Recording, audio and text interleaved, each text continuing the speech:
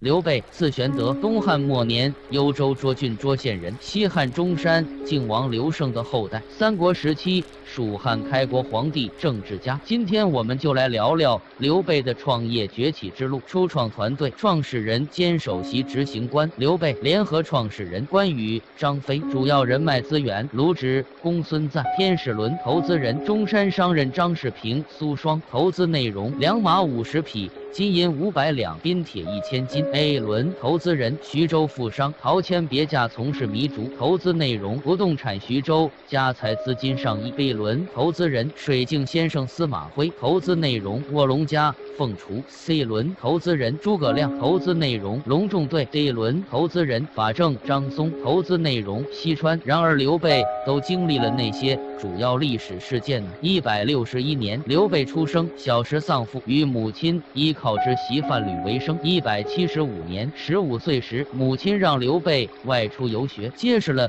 公孙瓒和刘德然，一起拜卢植为师。刘备平时寡言，善下人，喜怒不形于色，好结交豪侠。年少征服之，得到中山富商张世平、苏双的资助，从而能够招募乡勇，集结队伍。一百八十四年，黄巾起义爆发，刘备镇压黄巾军有功，被封为安喜县县尉。都邮巡视时，刘备怀疑自己。将被遣散，鞭打都邮后逃，后又因被招募打败盗贼而立功，先后担任了下密县丞、高唐尉、高唐令等职。高唐县后被强盗攻破，刘备逃往公孙瓒处。一百八十九年，董卓立刘协为汉献帝。一百九十十年，各路诸侯联合起兵反董卓，董卓迁都长安。一百九十一年，孙坚打败董卓，斩华雄。袁绍夺周牧韩馥的冀州，自领周牧。刘备与青。州刺史田楷联手对抗袁绍，刘备升为平原县令、平原国相。一百九十四年，曹操借替父报仇之名攻打徐州，陶谦求助于田楷，田楷与刘备共同抗击曹操，升任豫州刺史，驻兵小沛。一百九十五年，陶谦病逝，糜竺、陈登、孔融等人推举刘备领徐州牧。一百九十六年，曹操表刘备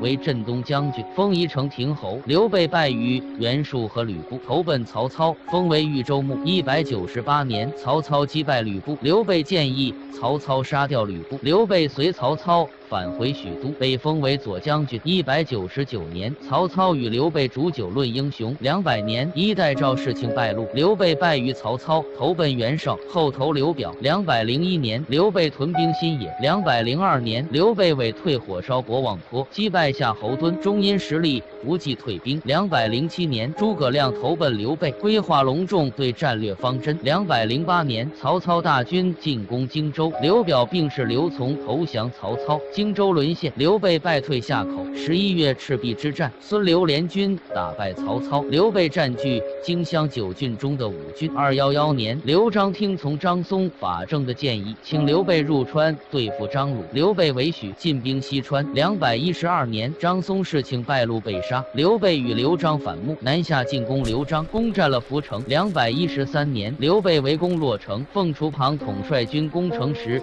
为刘石所中，战死城下。两百。百一十四年，刘备攻克洛城，围攻成都，派简雍劝降了刘璋。刘备自领益州牧。两百一十九年，刘备夺取汉中，进位汉中王。两百一十九年，关羽水淹七军，威震华夏。吕蒙白衣渡江，偷袭荆州，关羽被吴军擒获，被斩。两百二十一年，刘备于成都称帝，国号汉，年号张武。两百二十一年，刘备发动夷陵之战，占据秭归。两百二十二年，刘备败于东吴陆逊，退守白帝。成孙权请和。两百二十三年三月，刘备托孤于诸葛亮。四月病逝，享年六十三岁，谥号为昭烈帝，庙号列祖，葬会陵。